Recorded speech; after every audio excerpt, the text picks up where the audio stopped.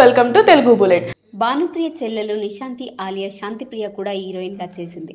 అయితే కొన్ని సినిమాల్లోనే అయినా మంచి గుర్తింపునే తెచ్చుకుంది. ముఖ్యంగా మహర్షి సినిమాతో అందరి దృష్టిని ఆకర్షించింది శాంతప్రియ.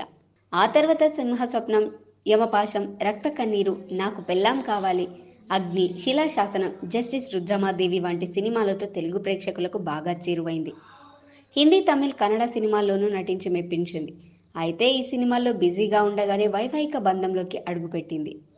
ఆ తర్వాత సినిమాలకు పూర్తిగా దూరమైంది. మధ్యలో కొన్ని సీరియళ్ళలో నటించిన వెండి తెరపై మాత్రం కనిపించలేదు.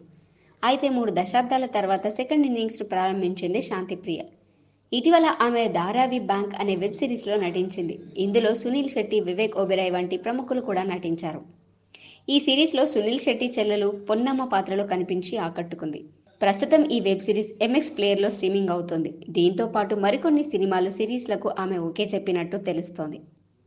కాగా పంతొమ్మిది వందల తొంభై తొమ్మిదిలో సినిమా ఇండస్ట్రీకి చెందిన సిద్ధార్థ్ రేతో ఏడడుగులు నడిచిన నిశాంతి వీరికిద్దరు పిల్లలున్నారు. అయితే రెండు వేల నాలుగులో శాంతి భర్త కన్నుమూశారు thanks for watching please do like share and subscribe our channel Telugu bullet